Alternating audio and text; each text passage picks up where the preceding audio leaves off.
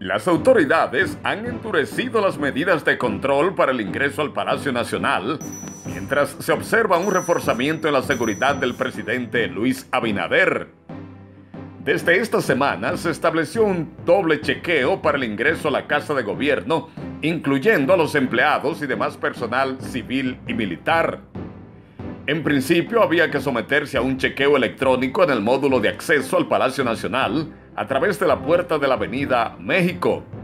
Desde esta semana hay que cumplir otro proceso electrónico.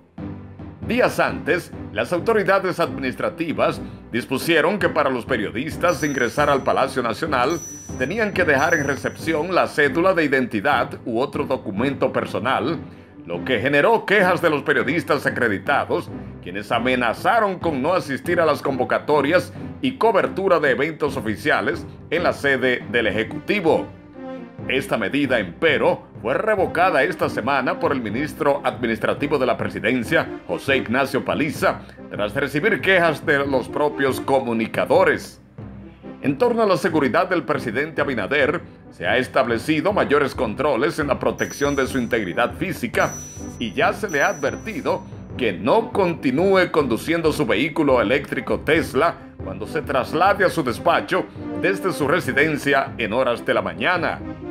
De igual manera, se continúa limitando la circulación de personas por los interiores del Palacio Nacional, especialmente en las áreas y pasillos que conducen o comunican con su despacho en el segundo nivel de la Casa de Gobierno.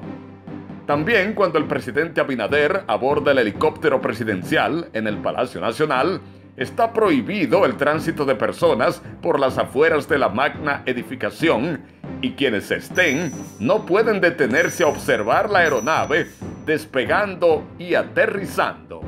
Manténgase informado. Suscríbase a nuestro canal en YouTube Fuente Libre.